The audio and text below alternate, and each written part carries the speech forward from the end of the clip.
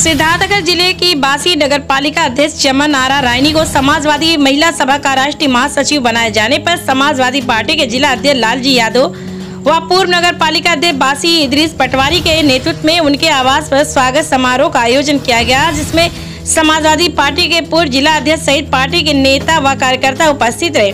Samajwadi party के जिला अध्यक्ष वरिष्ठ नेतागण व कार्यकर्ताओं ने महिला सभा की राष्ट्रीय महासचिव को पुष्प गुच्छ देकर स्वागत किया। वहीं मीडिया से बात करते हुए महिला सभा की राष्ट्रीय महासचिव चमन आरा रायनी ने समाजवादी पार्टी के राष्ट्रीय अध्यक्ष अखिलेश यादव, महिला सभा की प्रदेश अध्यक्ष जूही सिंह का आभार व्यक्त किया। नई ज़िम्मेदारी को लेकर पार्टी की नीतियों को आगे बढ़ाने की बात कही। लोकसभा चुनाव को लेकर पार्टी के द्वारा किए गए इंडिया गठबंधन के साथ पार्टी को मज़बूत बनाने के लिए सदैव तैयार रहने के लिए कहा। देश और प्रदेश में महिलाओं को आगे बढ़ाते हुए काम करने की बात कही। देश का नाम इंडिया से भारत बदलने को लेकर कहा। संविधान में दो बार इंडिया शब्द का उल्लेख किया गया है। छोटे पैसों से लेकर दो हज़ार रूपए के नोटों पर भी इंडिया लिखा है। मैं प्रधानमंत्री नरेंद्र मोदी से कहना चाहूँगी कि अगर आप इस प्रकार का कोई निर्णय लेते हैं तो वह गलत है। हमारे राष्ट्रीय अध्यक्ष जी ने जो संकल्प लिया है जो गठबंधन हुआ है, उस गठबंधन को देखते हुए भारत देश की रक्षा, सुरक्षा और महिलाओं, पुरुषों की सुरक्षा, हमारे संविधान को बचाने के लिए, ये एक देश को बचाने के लिए एक ये महागठबंधन जो हुआ है, इस गठबंधन को हम ये कहना चाहते हैं, जो लोग ने जो जिन लोगों ने, जिन विधायकों ने ये कहा है कि इंडिया शब्द हटा दिया जाए, संविधान में हमको जिस संविधान से आज़ादी मिली है आज़ादी की सांस लेने के लिए हम सब आज़ादी से जी रहे हैं।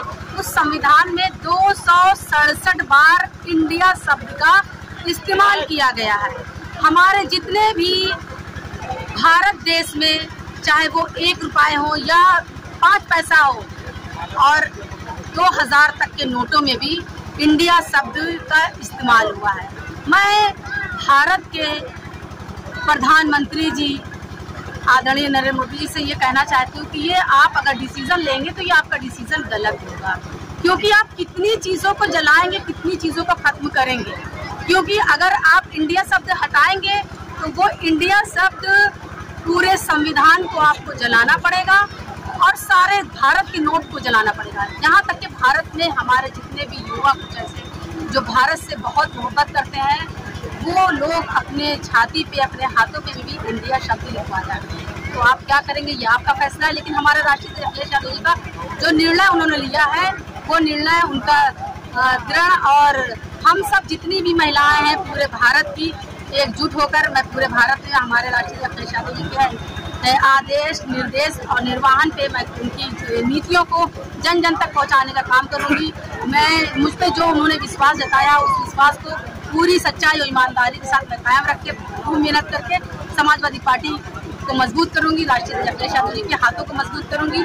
इसी के साथ मैं, हमारे आए हुए पत्रकार बंधु, उनका भी मैं बहुत बहुत धन्यवाद देती हूँ कि इतनी धूप में, इतनी दूर से चल कर आए।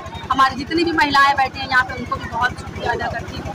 हमारे जितने भी पदाधिकारी हैं, हमारे जिला अध्यक्ष, पूर्व अध्यक्ष जितने भी चेयरमैन जितने भी पदाधिकारी यहाँ पे उपस्थित है, हमारे सभी कार्यकर्ता, सबका मैं दिल की गहराइयों से बहुत बहुत शुक्रिया, बहुत आभार प्रकट करती हूँ। इसी के साथ नमस्कार। जय हिंद, जय भारत। समाजवादी पार्टी जिंदाबाद, अखिलेश यादव जिंदाबाद, जूही दीदी जिंदाबाद, माता प्रसाद पाड़े जिंदाबाद, लालजी यादव जिंदाबाद। नगर पालिका के हमारे पूर्व चेयरमैन साहब, मोहम्मद इस पटवारी जी का भी मैं बहुत बहुत दिल के गहराइयों से आभार प्रकट करती हूँ और बहुत एहसानमंद रहूँगी जो उन्होंने जो स्वागत का इंतज़ाम किया, उसके लिए बहुत शुक्रिया अदा करती हूँ और नगर पालिका के पूर्व चेयरमैन मोहम्मद इस पटवारी जिंदाबाद। बहुत बहुत धन्यवाद हम बधाई देते हैं कि आदरणीय चमन आरा रायनी जो हमारी नगर पालिका की दूसरी बार भारी बहुमत से जीत कर चेयरमैन हुई है, इनके राष्ट्रीय महासचिव बनने से जनपद सिद्धार्थनगर के साथ साथ पूरे पूर्वांचल में समाजवादी पार्टी का असर बढ़ेगा इनकी कार्यशैली से इनकी संघर्षशीलता से समाजवादी पार्टी और मज़बूत होगी और इनके राष्ट्रीय महासचिव बनने से लोकसभा में विशेष कर समाजवादी पार्टी को मजबूती मिलेगी। इससे हम लोग लोकसभा का चुनाव जीतेंगे। जिनके स्वागत का कार्यक्रम है, ये बहुत ही संघर्षशील और बहुत तेज महिला हैं। आदरणीय चमानारा रायनी जी, ये न सिर्फ़ बांसी तक सीमित हैं, इनका अभाव और इनका प्रभाव इधर आसपास पूरे पूर्वांचल में जिस तरीके से पार्टी को लाभ मिलना है, ये बहुत सही फैसला है। मैं राष्ट्रीय अध्यक्ष जी को बहुत बहुत बधाई देता हूँ, धन्यवाद देता हूँ। और महिलाओं का कारवा जिस तरीके से ज़िम्मेदारी से हमारी पार्टी में बढ़ रहा है, निसंदेह जो हमारे नेता माननीय मुलायम सिंह का ख्वाब था कि महिलाओं को सम्मान देकर के पार्टी को मज़बूत करने का काम, गाँव को मज़बूत करने का, घरों का मज़बूत करने का कार्यक्रम है, उसको मजबूती देने का काम किया। धन्यवाद।